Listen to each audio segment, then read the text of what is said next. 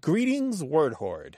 We're here with an exciting option for you a version of our podcast without any ads. That's right. No advertising interruptions, just the content you love, ready to go in your favorite podcast apps like Spotify and Apple Podcasts. It's another way to support the show, ensuring that we keep bringing you the word stories and language explorations that you love. Try it at waywordradio.org slash ad free.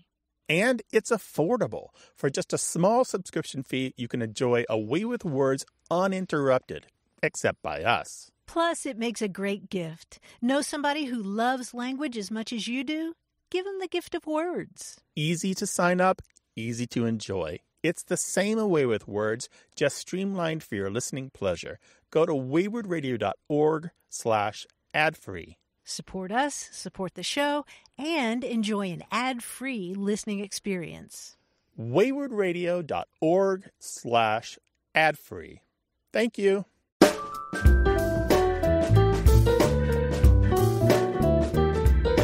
Hi, you're listening to A Way with Words. I'm Martha Barnette. Well, it's summer, at least in our part of the world, and if you've listened to our podcast for a while, you know what that means. This is the time when Grant and I and our production team take a break from producing the hour long version of our show. It's just a short break, and folks who listen to A Way with Words on their public radio stations are going to hear some archives. But if you listen by podcasts, we're not going to leave you hanging.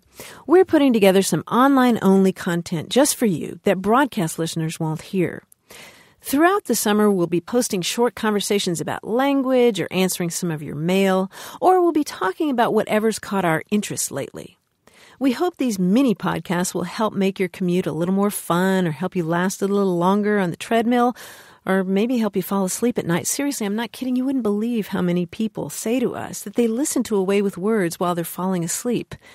I'm not quite sure how to take that.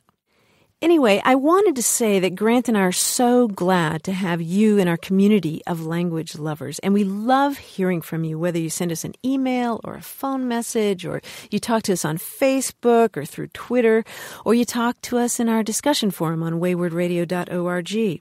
We love the way that you challenge and enlighten us, and it really is a joy to hear from you. And I do want to say one thing about that, too. Every single month, Grant and I get more than a thousand emails and phone calls from listeners.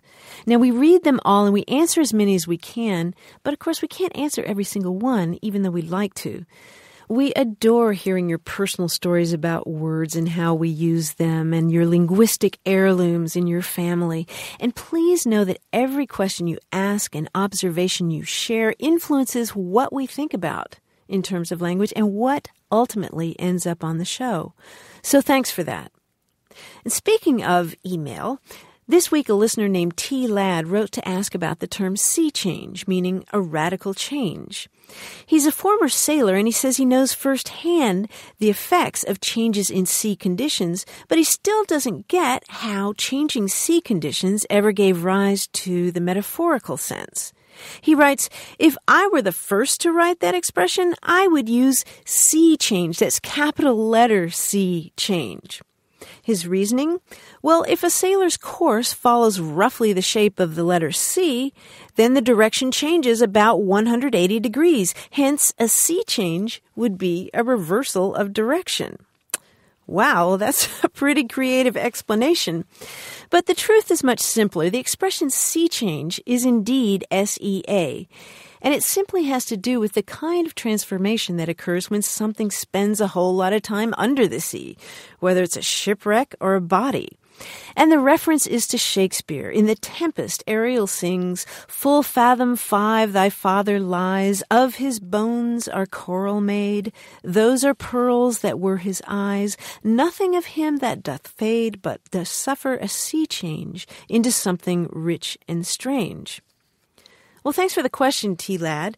We'll be answering more of those in these podcasts as the summer goes on. In the meantime, Grant and I will be doing some public speaking and some research, and we'll also be doing some fundraising. Which reminds me, you do know, don't you, that A Way with Words is not produced by NPR. It's not even produced by a public radio station. A Way with Words is an independent production. It's brought to you each week by a small nonprofit organization that was formed to encourage intelligent conversation about language. If you'd like to help us out, drop by waywordradio.org and click on that white link at the top, the one that says a contribution to A Way with Words is tax deductible. So, you have two podcasts coming to you this week, so be sure you listen to the other one. And in the meantime, you can call or write us anytime. The phone number is 1 877 929 9673. You can leave a message there, or you can send an email to words at waywordradio.org. Thanks for listening. For A Way with Words, I'm Martha Barnette. Have a great summer, and now on to the next podcast.